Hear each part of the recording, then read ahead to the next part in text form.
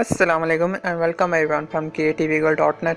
This is the learning series of PCB designing in Proteus software and today this is the video number 6 in which we will make ferric chloride solution for etching. So let's start.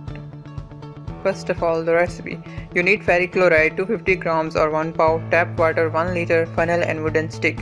For safety wear gloves, do not throw on floor, use cold water bath as solution is exothermic, it releases heat. Use plastic pots. If such solids are found in the crystals, crush them. I'm using this plastic pot and wooden foot as a stirrer. Do not use metallic pots. And 1 liter of water. Now pour all the water in the pot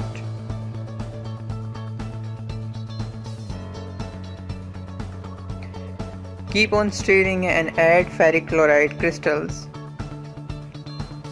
and do not stop stirring right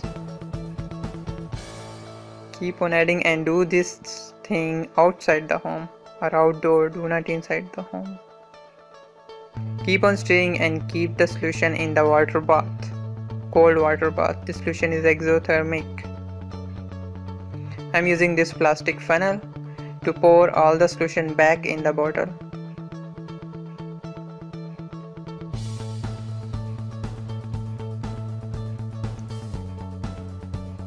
And now your solution is ready. Make a label and paste it on the bottle for safety purposes.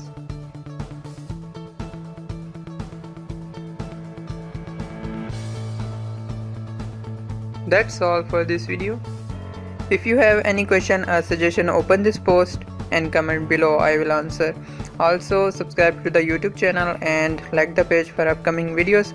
Until the next video thanks for watching and Allah Hafiz.